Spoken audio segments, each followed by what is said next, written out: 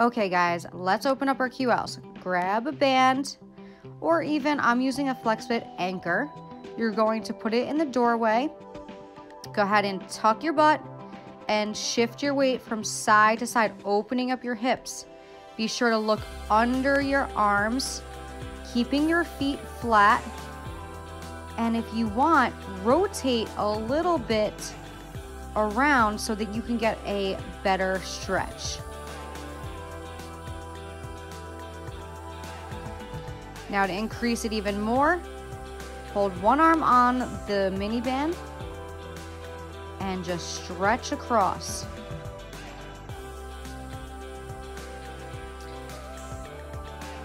Okay, let's open up our QL using a doorway. Let's make sure that we tuck our butt. And again, looking underneath both arms, switching both hands to the same side and look under that top arm. Again, tuck our butt in.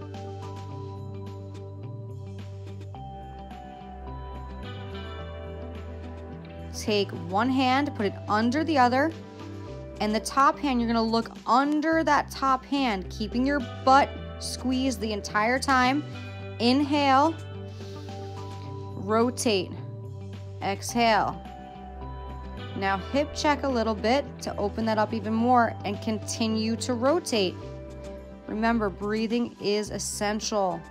This is an abdominal deep muscle. Let's open up our QL. Take a step down, holding on. Push that outside of the hip towards that wall.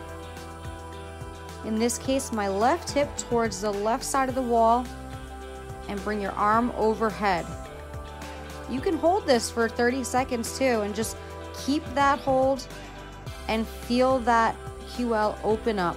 If you want to increase the stretch, go down another step. Make sure that you're tucking your butt. Okay, for our last one, tuck your butt in, find a wall about a step away, and all you're gonna do is go into the wall, push against it, and open up, arm overhead. Keep your butt tucked the entire time. Make sure you're breathing.